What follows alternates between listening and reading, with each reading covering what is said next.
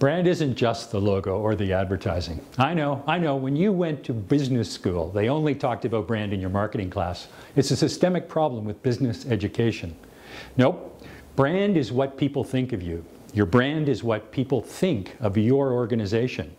And what they think comes from every touch point. It's driven by the culture of your organization. And you have to lead this. The CEO needs to be the CBO, the Chief Brand Officer. Get the book, it's a quick read. It'll tell you what Harvard didn't.